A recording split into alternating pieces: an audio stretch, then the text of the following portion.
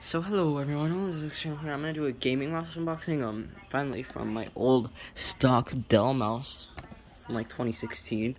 Oh, it's gonna feel so good. But I still have to do more school today and um do some reading.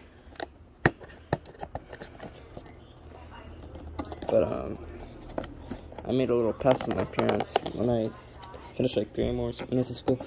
I can play for like a little bit with my new mouse. So sorry that's kind of hard to do this with one hand. Yeah, I'll just pause the video and it's open. Okay, back got it opened. Okay, now we're gonna open this up real quick.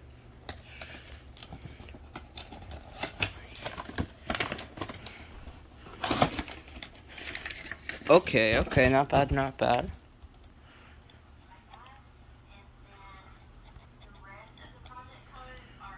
Okay, this actually feels pretty premium in the hand. In the. But the clicker, uh, clicker ain't that good, but everything else. I mean, it's kind of small, the clicker's weird, but other than that, I like it. I like it a lot. And like I said this in other videos, keeping the box.